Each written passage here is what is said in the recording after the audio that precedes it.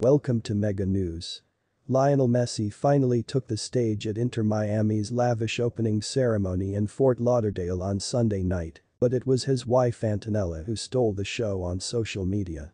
The soccer star appeared before his new fans at the DRVPNK Stadium in a ceremony hosted by Miami co-owner David Beckham and was accompanied by Antonella and her three sons, Thiago, Mateo and Ciro. Fans on social media raved about the Argentinian beauty, who also received a warm welcome in Miami from Beckham and her husband's new fan base. The influencer and model was introduced after her husband took the stage and led their children, who paid homage to their father by wearing Messi Miami shirts, across the wet platform. As the children ran to their father's side, Antonella was warmly embraced by Miami owners Jorge and Jose Mas, as well as Beckham, whose wife Victoria Beckham was in attendance. Antonella was thrilled, nodding to the team colors and opting for light pink palazzo pants and a white lace-up corset-style crop top.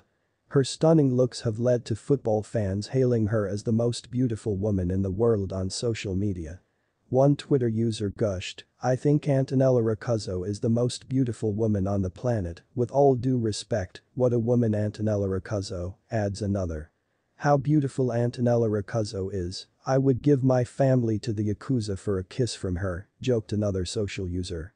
Meanwhile, another fan raved about how elegant the 35-year-old looked as she shined on stage.